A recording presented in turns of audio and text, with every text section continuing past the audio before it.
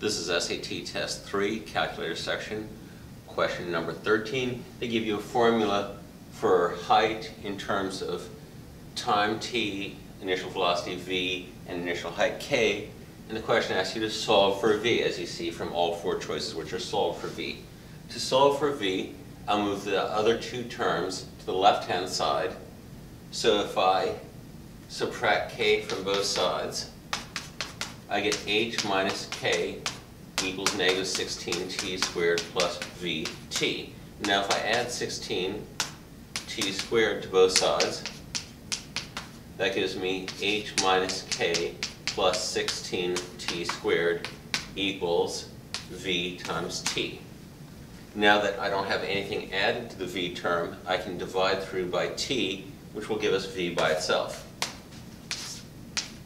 So h minus k plus 16 t squared over t equals v.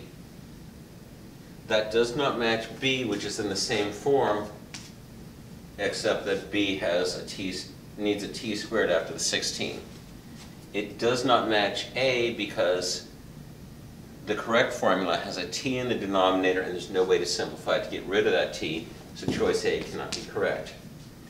The real answer is when we, the real question, when we simplify this, will this be h minus k over t, like choice D, or h plus k over t, like choice C?